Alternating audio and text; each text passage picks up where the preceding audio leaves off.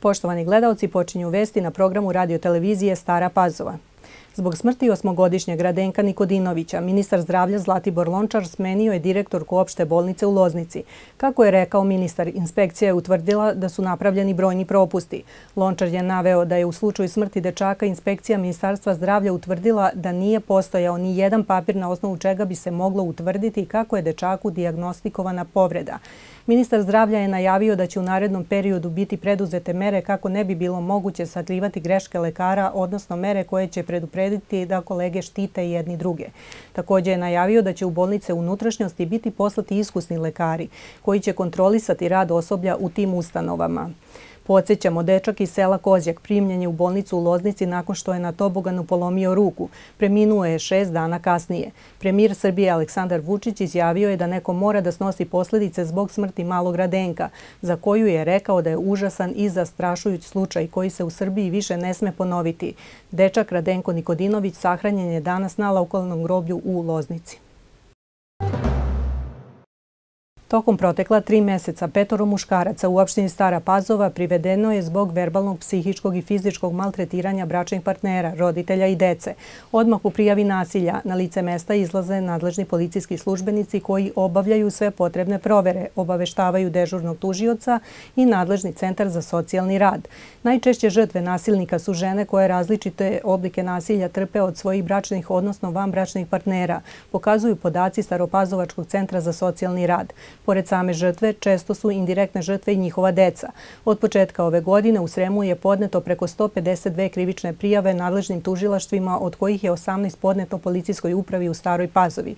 Poražavajući je podatak da je samo 7 žrtava od ukupno 170 prijava u porodici lično prijavilo nasilje. Nadležni ističu da će rešavanju ovog problema u mnogome doprineti poseban protokol o postupanju policijskih službenika u slučajevima porodičnog nasilja Ministarstva unutrašnjih poslova Republike Srbije.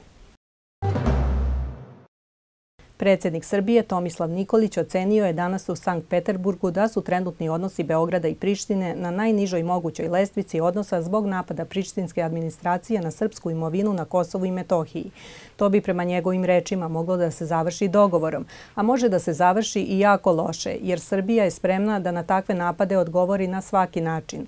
Kako se Albanci budu ponašali u budućnosti, tako ćemo i mi da odgovorimo, a neka ne računaju da mogu da se igraju sa nama ili da računaju da će nas neko ponovo bombardovati, pošto je očigledno da se Srbija mnogo bolje ponela nego što bi se iko poneo u ovoj situaciji, naveo je predsjednik Nikolić. Srbija, dakle, rekao je predsjednik, ima veliki problem sa Kosovom i Metohijom i taj problem se preliva na naš odnos sa Evropskom unijom.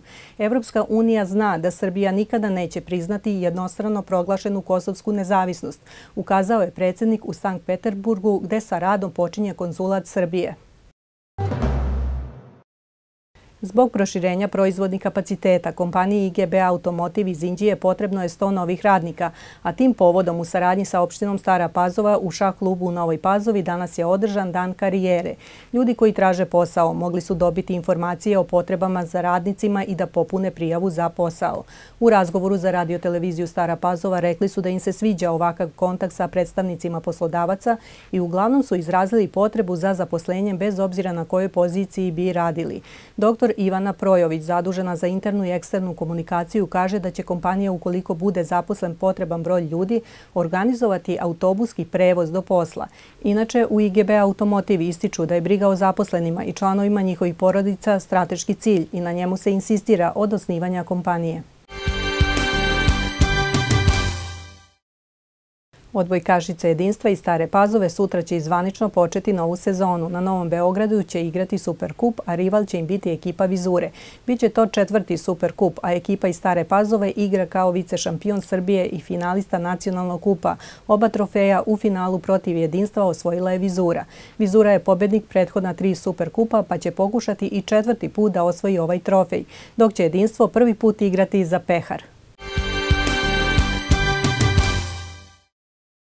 Srpski teniser Viktor Trojicki plasirao se u osminu finala Mastersa u Šangaju, pošto je danas prvi put u karijeri savladao španca Rafaela Nadala 6-3, 7-6.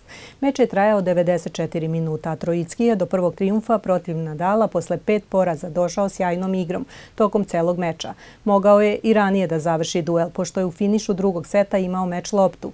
Nije uspeo, ali ostao je psihološki stabilan i slavio u taj brejku. Srpski teniser će se u narednoj rundi sastati sa boljim iz meča između između Amerikanca Taylora Fritza i Španca Roberta Bautiste Aguta.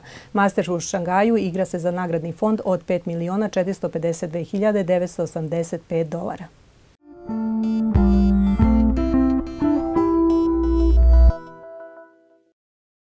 Vreme sutra nakon hladnog i tmurnog jutra biće tokom dana umereno oblačno i malo toplije sa sunčanim intervalima, ali i dalje će biti prohladno.